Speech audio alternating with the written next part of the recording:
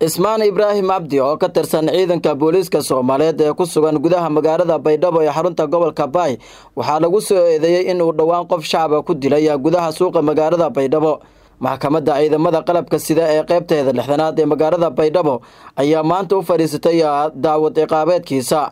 gudoomiyaha maxkamadda sare ee ciidamada qalabka sida ee qeybteeda lixdanaad gaashaanle sare aadan abuukar maxamed ayaa ku dhawaaqay in lagu xukumay dil toogasho ah kadib markii uu qirtay dilkii uu geystay. Taarikhdu markay ahayd koo labaatankii bishii koowaad laba kun labaatan kow saacaduna ahayd tobankii subaxnimo maxkamadda ciidamada qalabka sida qaybta lixdanaad waxay u fadhiisatay dacwad ciqaabeedkii loo haystay eedeysana gacankudhiigle dable booliiska cusmaan ibraahim cabdi labaatan laba jir ah ina yurub mire maxamed ku dhashay qoryooley gobolka shabeellada hoose degan baydhabo ka tirsan ciidanka booliiska maamulka koonfur galbeed soomaaliya. Kaasoo xafiiska xeerlaalinta maxkamadda ciidamada qalabka sida qaybta lixdanaad ka soo dacweeyey in uu si bareer ah oo ulakaca u dilay taariikhdu markay ahayd koodii bishii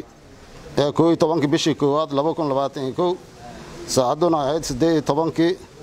marxuum la oran jiray axmed madnuur mursal ina xaawo maxamuud mursal soddon saddex jir ahaa. Kadib markii uu hal xabo ah ka foodhisaban ah uga dhuftay feeraha isla goobtiina ku geeriyooday marxuumka dilkaas oo ka dhacay degmada baydhabo suuqa sariiraha xaafadda berdaale dood dheer kadib maxkamadda markay aragtay eeddii uu soo gudbiyey xeerlaaliha ciidamada qalabka sida qaybta lixdanaad oo ku xusnayd aayadda boqol toddobaatan sideedaad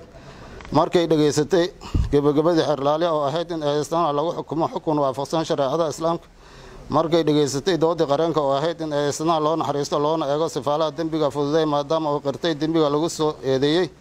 sidaas darteed maxkamadda waxa uu caddaatay in dembiile gacankudhiigle dable booliiska cusmaan cusmaan ibraahim cabdi uu yahay dembiile galay dembigii lagu soo ogey waxayna ku xukuntay dil toogasho ah oo ah qisaastii marxuum axmed manuur mursal ciddii aan ku qanacsanayn xukunka maxkamadda waxaa u furan rafaan wabilaahi towfiiq dhanka kale taliyaha ciidanka booliiska ee gobolka baay gaashaanle sare aamiin madaruur ayaa dignin u diray ciidamada qalabka sida gaar ahaan booliiska magaalada baydhabo inay qoryahoodii ay ka adkaadaan islamarkaasna si wanaagsan ay u adeegaan bulshada soomaaliyeed. Ciidamada maydhadhaay sharcigii iyo nidaamkii oo dowladda federaalka ama dowladda soomaaliya aan degsanay intee ka shaqeeyahay unuun wayba raalle kicnaa lanki askari e kas indile lanshaabe ama askari oo u sameelo la jiifa macana laan indile wayba way haddii ilaahay er wayba lawaafiiji doona sharciga geeka mayba kadigaana ciidamada qalabka sida gaar ahaan ciidamada booliiska intii onay lang askari e lanki shacaba dila jaasintiis dil toogashaahu cabdirashiid rashka raadiyaha iyo tv-ga shabeelle magaalada baydhabo